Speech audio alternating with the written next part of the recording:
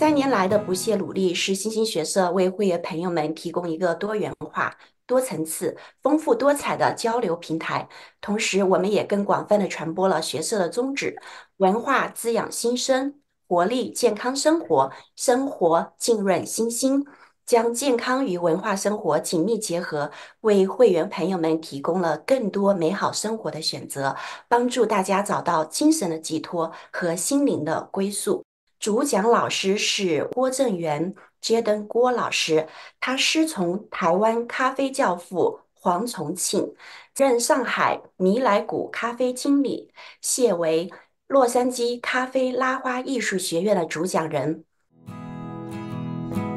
说咖啡，它不仅仅是一种饮品，更是一种文化的演绎，一种情感的表达，还有就是一种生活态度。从种植的角度上来讲呢，咖啡的生长，它的主要的种植带呢是在北纬二十五度和南纬二十五度之间的一个位置。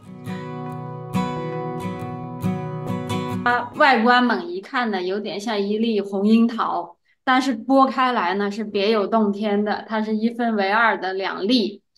两粒包裹在一起，去掉外面的红皮，里面还有果胶、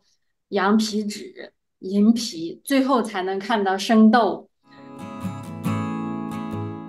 那浅烘焙的咖啡豆呢，它的风味特征呢，